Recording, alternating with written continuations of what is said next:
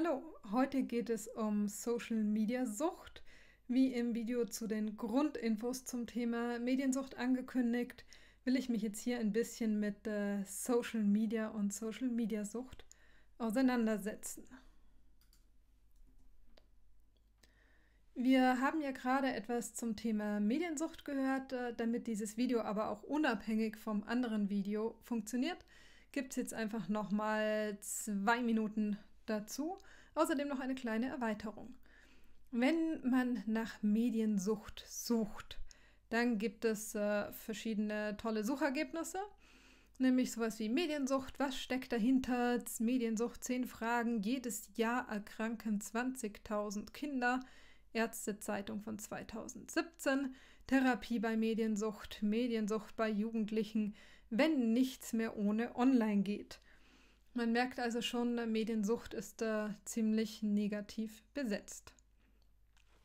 Allerdings muss man anmerken, dass äh, Mediensucht natürlich ein normativer Begriff ist. Das heißt, anders als deskriptive Ansätze liefern normative Prozesse keine möglichst wertfreien Beschreibungen, sondern eine Bewertung. Sie sagen also nicht, wie etwas ist, sondern wie etwas sein soll oder eben nicht sein soll. Wie etwas sein soll oder nicht sein soll, hängt natürlich von kulturellen und gesellschaftlichen Faktoren ab. Gerade bei Medien und Mediensucht wird bei uns zum Beispiel viel diskutiert, wie ist das denn mit professionellen E-Sportlern, die ja auch sehr viel Zeit damit verbringen, die sich gedanklich die ganze Zeit damit beschäftigen? Sind die denn jetzt mediensüchtig oder sind sie das nicht?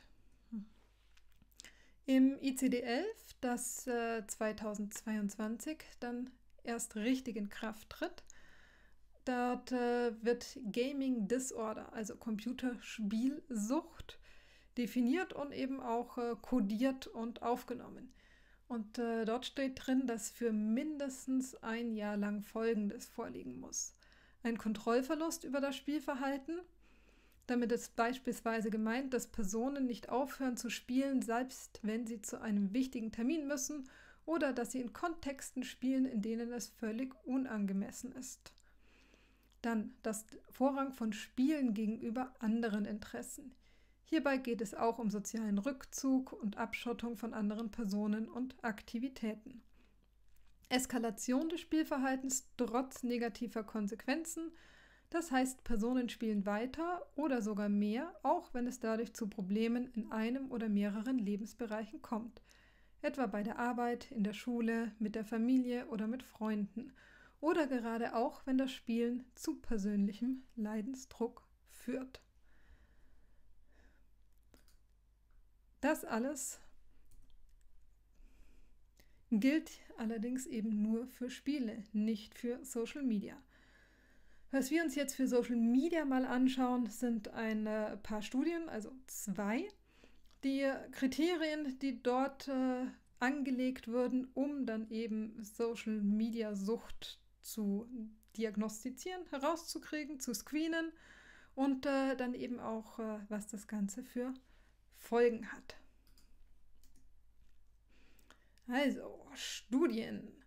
Und zwar möchte ich äh, mich mit der Blick-Studie 2017 genauer beschäftigen und mit der DAK-Gesundheitsstudie von 2018. Die Ergebnisse in aller Kürze. Blick-Studie, erhöhter Medienkonsum führt zu erhöhtem Body Mass Index, Entwicklungsauffälligkeiten, Hyperaktivität, Sprachentwicklungsstörungen, Konzentrationsproblemen. Und äh, bei den Jugendlichen haben wir 13,1 Prozent mit problematischem Internetkonsum und 3,7 mit pathologischem und oder suchtartigen Nutzung. In der DRK-Gesundheitsstudie haben sie gesagt, 2,6 Prozent der Kinder und Jugendlichen sind süchtig und die intensive Nutzung führt zu Problemen wie Depression, zu wenig Schlaf, Realitätsflucht oder Streit mit Eltern. In der Erhebungsmethode, die PLIC-Datenerhebung fand äh, im Rahmen der Früherkennungsuntersuchung statt mit eben 2632 Jungs und 2451 Mädchen. Dort wurden die Eltern befragt und bei den 12- bis 14-Jährigen auch die Jugendlichen selbst. Die RK Gesundheit, die haben gut 1000 Kinder und Jugendliche zwischen 12 und 17 telefonisch befragt und haben eben die Social Media Disorder Scale angelegt ähm, als Instrument. Was äh, interessant ist, ist, äh, dass die Blick-Studie zu dem Ergebnis kommt, jedoch kann basierend auf den bisherigen Analysen keine Aussage darüber getroffen werden, inwieweit die beobachteten Entwicklungsauffälligkeiten durch eine erhöhte Nutzung speziell der elektronischen Medien bedingt sind oder inwieweit bei entsprechend bestehenden Entwicklungsstörungen insbesondere elektronische Medien verstärkt in Anspruch genommen werden – also wir haben die Henne-Ei-Problematik. Das hat man allerdings nur in der Studie selbst gelesen. In den Pressemeldungen war davon nie die Rede. Was äh, allerdings als Einflussfaktoren so ein bisschen außen vor gelassen würde, und äh, darauf werde ich jetzt gleich in den Fragen noch näher eingehen, die den Jugendlichen gestellt worden sind, das äh, sind normative Werte, Erziehungsmethoden, soziale Aspekte, und eben auch die Unterscheidung zwischen Games und Social Media.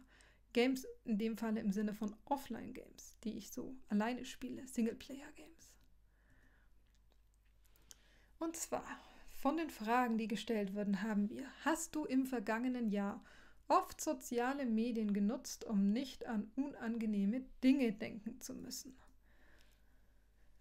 Eigentlich ist ähm, das ein Zeichen für Medienkompetenz. Äh, wenn wir uns die affektive Dimension von Medienkompetenz angucken, dann kann ich nämlich Medien zur Stimmungsregulierung einsetzen und das zu können ist eigentlich ein Zeichen für Kompetenz und nicht für fehlende Kompetenz. Hast du im vergangenen Jahr oft heimlich soziale Medien genutzt? Diese Frage finde ich besonders schwierig und äh, besonders kritikwürdig, denn wie oft ich heimlich soziale Medien nutze, ist natürlich abhängig vom Erziehungsstil. Wenn es äh, mir erlaubt ist, immer soziale Medien zu nutzen, habe ich überhaupt keine Chance, sie heimlich zu nutzen. Wenn ich sie nie nutzen darf, dann nutze ich sie wahrscheinlich häufiger. Und äh, dann ist natürlich die Frage, was ist denn jetzt eigentlich oft? Ist ähm, oft zweimal am Tag, fünfmal am Tag, zweimal in der Woche? Also hier sind wir ja in sehr schwammigen Begriffen unterwegs. Und äh, die Nutzung sozialer Medien nicht stoppen können, während andere sagten, dass du das wirklich tun müsstest. Auch hier haben wir wieder ähm, die Frage mit, wer sind diese anderen, wie sieht die Situation genau aus? Eine höchst normative Frage, die mit Erziehungsstil und Peer Group zu tun hat das heißt, äh, die Kommunikation mit Freunden findet ja über Social Media statt. Ich spreche gerade mit meiner neuesten besten Freundin über WhatsApp und ihr geht es total scheiße. Und äh, meine Eltern kommen dazu und sagen, hey, jetzt hör doch mal auf, es gibt Essen. Und ich sage, ja, aber ich habe hier gerade was Wichtiges mit meiner Freundin. Dann gibt das natürlich Stress. Die Frage ist, ist das ein Zeichen von Sucht oder ist das ein Zeichen von sozialer Kompetenz oder wie sollte man denn damit umgehen? Konntest du regelmäßig an nichts anderes denken als an den Moment, an dem du wieder soziale Medien nutzen kannst? Hier ist äh, ebenfalls die Frage, an was genau denke ich denn? Wenn ich jugendlich bin und zum Beispiel frisch verknallt bin, dann kann ich natürlich an nichts anderes denken als an die nächste Nachricht meines Liebsten und äh, auch das würde ich jetzt nicht als Sucht bezeichnen, zumindest nicht als Social-Media-Sucht. Regelmäßig Streit mit anderen gehabt durch die Nutzung sozialer Medien. Also auch hier wieder Streit, weil man Social Media nutzt, Streit während der Nutzung mit anderen, also Streit in Social Media. All das ist da eigentlich auch normal und das ist auch die Frage, was ist denn jetzt regelmäßig? Jeden ersten im Monat wäre auch regelmäßig und ernsthafte Probleme mit Eltern, Brüdern oder Schwestern oder Freunden gehabt durch die Nutzung sozialer Medien. Mehr oder weniger die gleiche Frage, hängt auch wieder von Erziehungsstil, Freundeskreis ab, von ja, WhatsApp, Stress, Instagram, TikTok. Also da gibt es eigentlich ständig irgendwelchen Stress damit, wegen der Nutzung, durch die Nutzung. Ähm, auch das ist jetzt noch nicht zwingend ein Suchtmerkmal. Wenn ähm, ich jetzt so kritisch an diese Fragen herangehe, dann äh, wird mir ab und an mal gesagt, aber vor schädlichen Folgen von Social Media warnen ist doch gut. Prinzipiell sage ich, naja, kommt drauf an, wie man es macht. Es ist nicht so, dass äh, das alles völlig eitel Sonnenschein ist und äh, keine pädagogische Intervention möglich, nötig ist und ähm, dass da einfach alles man so lassen sollte, wie es ist. Aber wir haben ein Problem. Wir haben häufig, wenn es äh, dann eben so dargestellt wird, als wäre Social Media der Teufel und als wären alle Kinder und Jugendlichen süchtig, eher eine Verstärkung des Problems. Denn mh, hm, dadurch sind Eltern sensibler, können es häufig nicht richtig einschätzen, meckern sehr schnell, streiten sich mit den Kindern, die Kinder ziehen sich zurück, sie ziehen sich zurück in digitale Medien und äh, dann haben wir eigentlich eher eine Verstärkung des Problems. Wichtig ist, äh, dass man das Ganze eben auch anerkennt als äh, Hobby zum Beispiel oder als Teil der Lebenswelt und tatsächlich schaut, wann ist es denn ein Problem und äh, wann ist es gerade eine Phase, die man vielleicht hat. Das heißt, äh, hier wieder der Hinweis auf, wenn ich es wirklich wissen will, brauche ich eine Diagnose beim Fachverband Medienabhängigkeit findet man ein paar Beispiele, wie so eine Diagnose gestellt wird. Das sind natürlich keine Instrumente für den Hausgebrauch, sondern eben Diagnoseinstrumente. Dann gibt es natürlich immer noch das schöne Argument mit dem Gehirn und der Veränderung des Gehirns. Und äh, was man ganz häufig in Studien liest, ist äh, eine Veränderung der grauen Substanz durch Mediennutzung. Hier sind wir jetzt wieder bei Computerspielen, denn auch dafür ist es äh, relativ gut erforscht, aber wir werden es gleich mal sehen, sehr mit sehr unterschiedlichen Ergebnissen. Es gibt ähm, Studien, die sagen, die graue Substanz nimmt ab.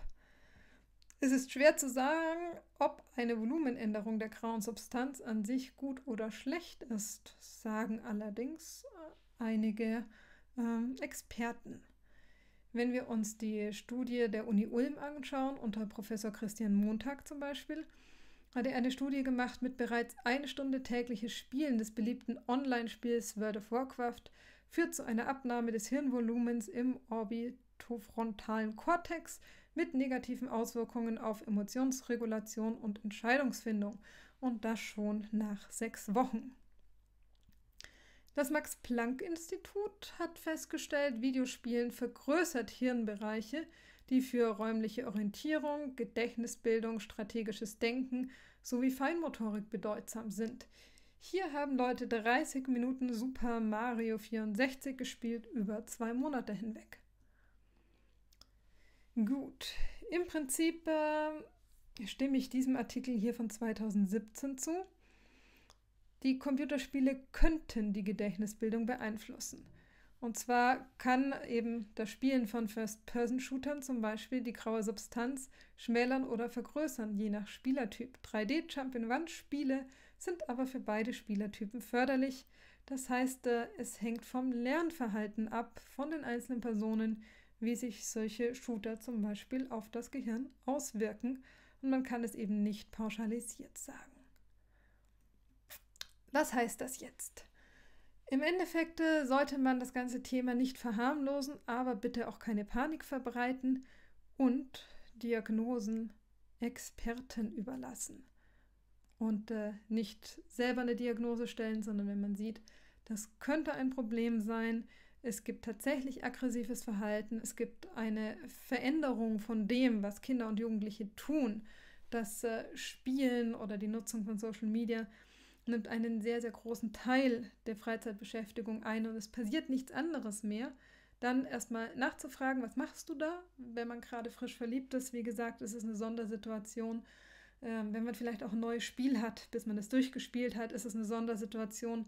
Wenn man dann aber feststellt, es gibt eigentlich nur noch diese Sondersituationen, dann sollte man aktiv werden und äh, sich dann auch externe Hilfe holen und äh, nicht anfangen, mit den Kindern und Jugendlichen zu streiten darüber, soweit das geht. Ähm, ich weiß, das ist wahnsinnig schwer, aber gut wäre es tatsächlich in den Dialog zu gehen und im Zweifel dann Experten hinzuzuziehen, und eben nicht in Panik zu verfallen.